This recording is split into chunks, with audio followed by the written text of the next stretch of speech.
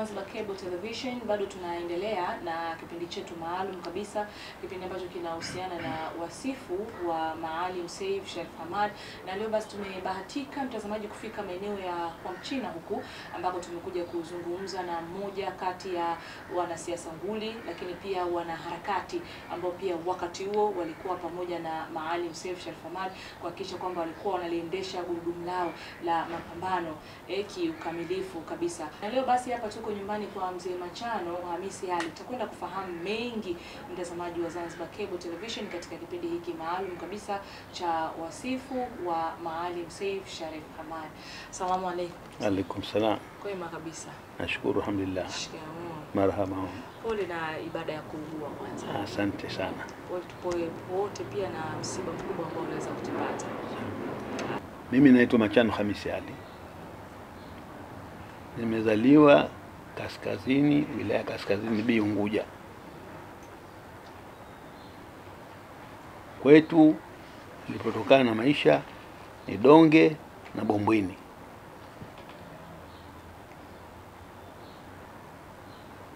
Mimi katika maisha yangu nimefanya kazi serikalini na hasa nilipofanya kazi kwa siku nyingi katika jeshi la polisi. Katika jeshi la polisi nilifikia cheo cha senior assistant commissioner. Nilijuana naye Maalim alipokuwa waziri kiongozi. Wakati alikuwa alipokuwa waziri kiongozi, nilikuwa karibu naye,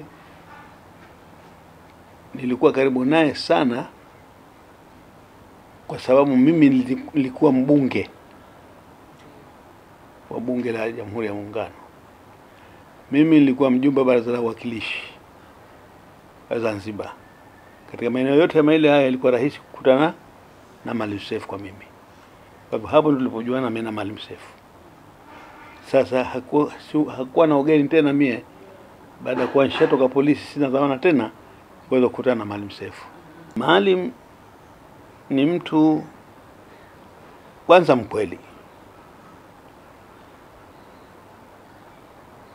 hakuwa mnafiki, hapendi ubaguzi, hana chuki. Alikuwa ni mtu wa tabia hizo. Mwalimu aliniuliza tutakwenda katika serikali hii na watu wangapi? Nikamwambia hata ukiwa peke yako nenda mali, wewe ukiitwa kwenye serikali hii wende ukajiunge. Na Maalim. Nikakaa kimya, kasikiliza, jina lake likapitishwa. Alipokwisha kaapishwa siku ya Jumanne, Jumatano kaja hapa akiwa makamu wa rais, kaniambia mie nishaapishwa, sasa nieleze yote unaotaka wewe kuyaona imefanyika. Nikamwambia mimi na mengi, lakini wewe na si yangu mie, ni yetu tuliokubaliana. Kwanza mie na imani lolote alikuwa Maalim kajenga imani nalo, naamini nitakuwa halina mashaka. Na Maalim hata alipokuja hapa kwangu kwa mara ya kwisho, kishachaguliwa kwa makamu mwenyekiti, ananiambia nisiwe na wasiwasi, ataweza kufanya kazi vizuri na, na rais aliyopo, kwa sababu anaonekana kwamba atakuwa mtilifu na yeye anapenda hili jambo la umoja wa kitaifa. Kwa hivyo na mie kwa kuchukua kauli ya Maalim Seif kwamba Dr. Mwinyi, Maalim Seif kamuona kama mtu mzuri, namuomba Maalim, namuomba Dr. Mwinyi naye basi akubali sifa aliyopewa na Maalim Seif. Maalim Seif kamchunguza akaona ana sifa nzuri. Wananchi wote wa Zanzibar sasa tukubali na huu wito ulikushatolewa na pande zote mbili zilizokuwa hasama wakati huo. Sasa wakubali kwamba hakuna hasama, tukae pamoja, tujenge nchi yetu, tuendeleze taifa letu. Mimi naitwa Hemed Said Nasser, ni mzaliwa wa kijiji cha Pandani, wilaya ya Wete, Pemba. Nimesoma skuli ya msingi Padani, nimesoma skuli ya sekondari Pemba, baadaye nikajiunga na jeshi, nikapata kujiunga na jeshi la ulinzi la Tanzania, kikosi cha ndege za vita. Maalim Seif, bahati nzuri nimefahamiana naye mwaka 1966 nilipopasi kuingia form 1 skuli ya Fidel Castro Pemba. Nafika chuoni pale na sanduku la mbao, nikamata sanduku la mbao, kuniona pale, nikamwamkia, akaniuliza wewe unatoka pandani? Naam. Maalim Khalid ni kakako? Kaambia naam, karibu kaweke sanduku lako, njoo chukue vifaa vya boarding. Alikuwa boarding master. Tungia wakati huo akawa mwalimu wangu vile vile form 1, form 2, form 3 mpaka alipohamishwa kuletwa Unguja Lumumba. Kubwa somo lake lilikuwa geography. Na alikuwa akiweza kweli. Akiweza sana geography.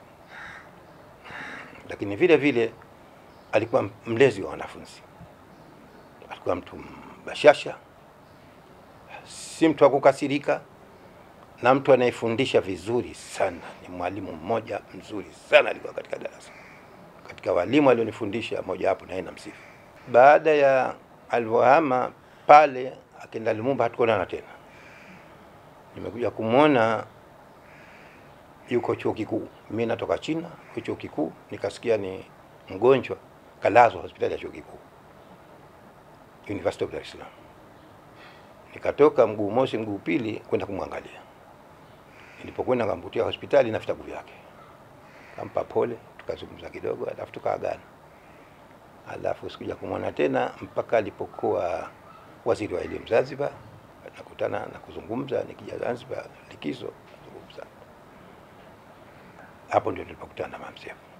Nilikuwa injinia wa ndege, muumini wa injini za ndege, nilikuwa nipenda sana kazi. Yeye alikuwa waziri kiongozi, tunamchukua namchukua, tunaonana, tunazungumza kikazi tu, Eh, nataka ndege, nataka nini, tunakwenda. Mheshimiwa Rais astahamili, astahamili sana, awe na subra. Vile vile si tu kuwastahimili, awe na subra, lakini awe muona mbali, aweze kuona mbali. Kama kozi aliondoka nayo, dira aliondoka nayo, ende nayo hivyo hivyo ya umoja, mshikamano na utulivu wa nchi. Mtazamaji wa Zanzibar Cable Television, natumai pia na wewe utakuwa leo umefunguka na umejua historia nzuri kabisa ya Maalim Seif mpaka pale kifo kilipoweza kumkuta na harakati zao za kisiasa. Kumbuka hiki kilikuwa ni kipindi maalum kuhusiana na wasifu wa marehemu Maalim Seif Sharif Hamad. Endelea kutazama ZCTV, mimi naitwa Naima Zuberi. Uongozi na wafanyakazi wote wa Zanzibar Cable Television unatoa mkono wa pole kwa Wazanzibari wa Tanzania na Serikali ya Mapinduzi ya Zanzibar kufuatia kifo cha makamu wa kwanza wa rais Maalim Seif Sharif Hamad. Kwa pamoja tunamwomba Mwenyezi Mungu ailaze roho yake mahali pema peponi. Amin.